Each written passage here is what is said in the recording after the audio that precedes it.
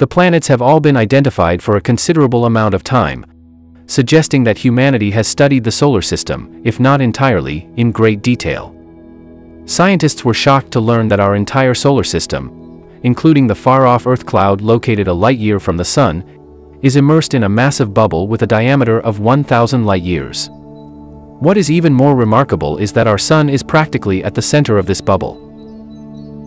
Are we really living in a huge bubble, and how does our solar system actually work in 1977? Rovers have been traveling on Mars for a while, and comets and asteroids have been almost counted by name. Less than a month separated the launches of Voyager 1 and Voyager 2, with Voyager 2 departing earlier and reaching the outermost point of our solar system owing to a different flight path.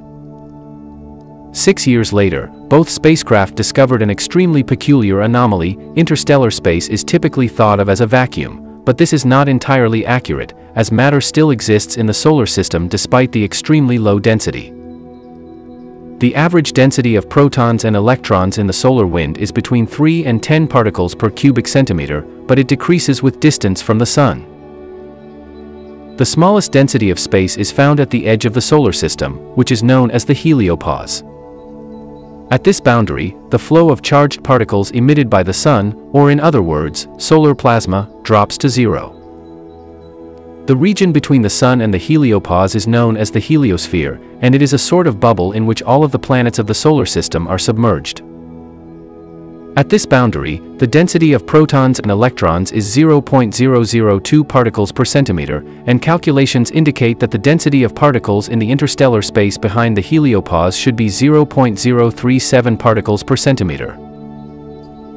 The density outside the solar system was found by the Voyager 2 instrument to be 0.039 particles per cubic centimeter at a distance of 119.7 astronomical units, or 17.9 billion kilometers, from the Sun. This finding nearly lined up with the calculations, but the strangeness started at a distance of 124.2 astronomical units, or 18.5 billion kilometers.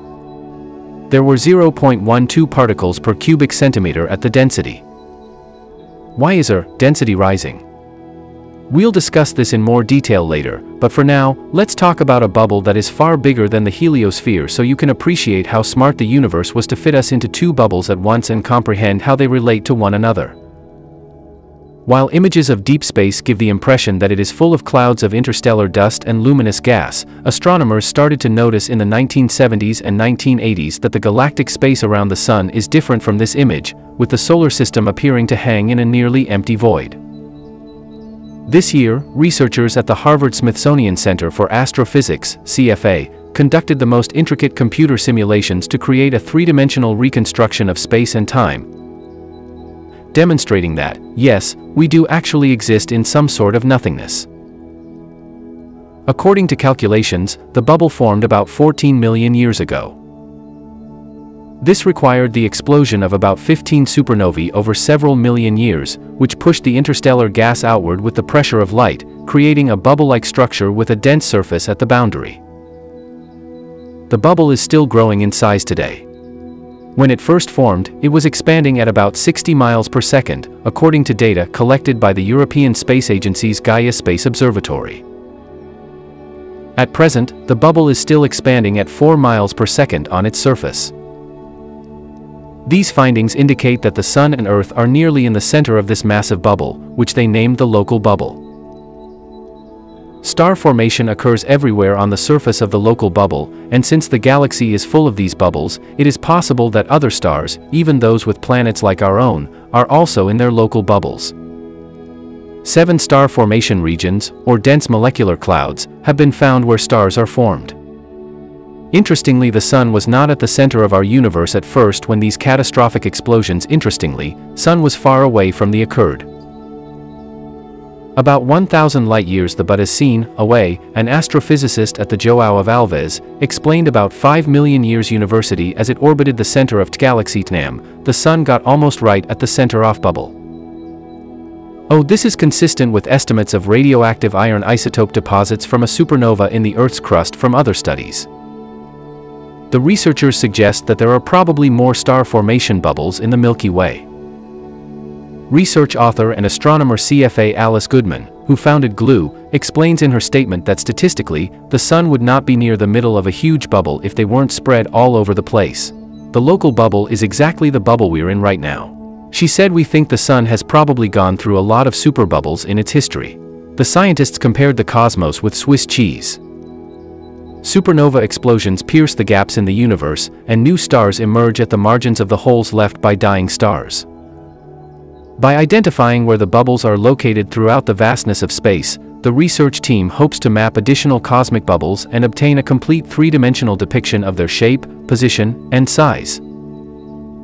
This will allow astronomers to put together how these bubbles function as star nurseries. How the bubbles communicate with one another and how the opening of the local bubble has changed the course of galaxies over time, such as the Milky Way. This is how the solar system is structured. The Sun lies at the center of the system, around which eight planets orbit.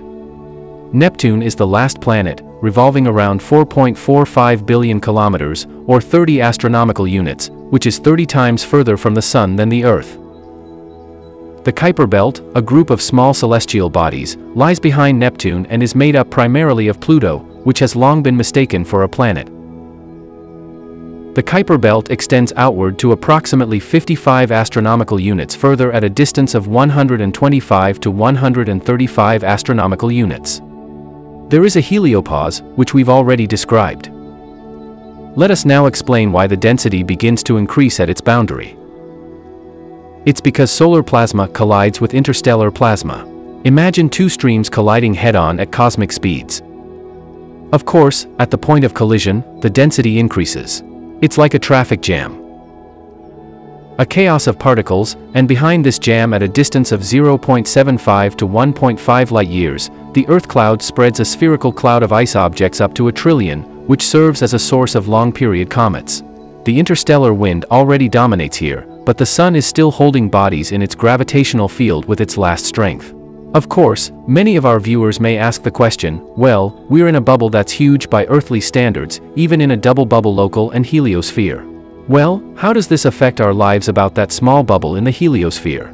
We can say unambiguously that thanks to it, thanks to the traffic jam that formed on its border, the Earth is reliably protected from high-energy cosmic particles rushing from the center of the galaxy. Our Sun revolves around the galactic center, making one revolution every 200 million years. This is known as a galactic year, and only 0.0008 of this year has passed since the appearance of man in its path. The Sun and all of its planets crossed not only bubbles but also accumulations of interstellar gas when the density of matter in space jumped hundreds of times. Currently, our Sun is almost halfway between the Sagittarius arm and the Perseus arm.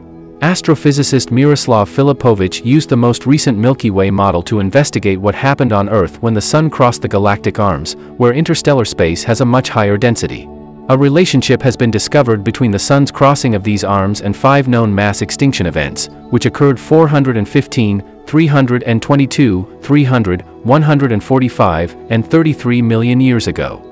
Based on this, we can assume that the Sun is currently in a quiet harbor that is favorable for all living things, and we can consider ourselves extremely fortunate to have evolved when the Sun flew into the local bubble earlier. Alternatively, these two events may be related in some way, with the appearance of man and the Sun in a safe haven the local bubble science has no information about it, at least not yet, but we can definitely say that we observe such a colorful sky above our heads only due to the fact that we're practically in a void, the local bubble. If the space around us were denser, many stars would be invisible, and who knows if we would know about space and about the structure of the universe as much as now if we were literally in the dark. We can say that the local bubble is just a gift to humanity, which has entered the space age and is already trying to jump to the stars for an interstellar craft moving at subluminal speeds. The greatest threat is dust particles, which will simply grind the ship to powder during collisions.